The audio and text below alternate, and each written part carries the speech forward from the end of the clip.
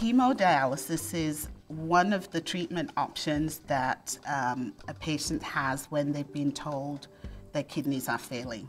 They get to what we call end stage renal disease. So, at end stage renal disease, that means that without dialysis, which is the process of cleaning the blood, they would not be able to survive.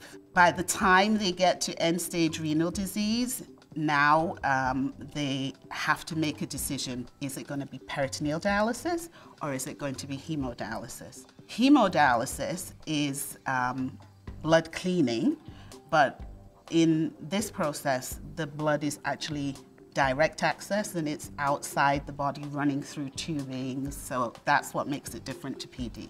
When you look at uh, hemodialysis, first of all, it looks really confusing. It looks very overwhelming. And of course, it's not normal to have blood running outside your body. So um, if you break it down, it's the machine. So the machine is the monitoring system.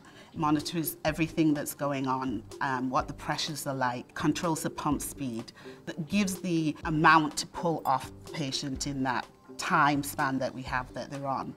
So the machine's your monitoring system. Then we have the tubing. The tubing is the actual transport system. So it pulls the blood away and gives the blood back when it's cleaned. Then we have the access. So the access is the place where we're going to be able to get the blood from the body. So either it's in the forearm or the upper arm, or it can be in the chest. So these two accesses are, are different. This is either a fistula or a graft.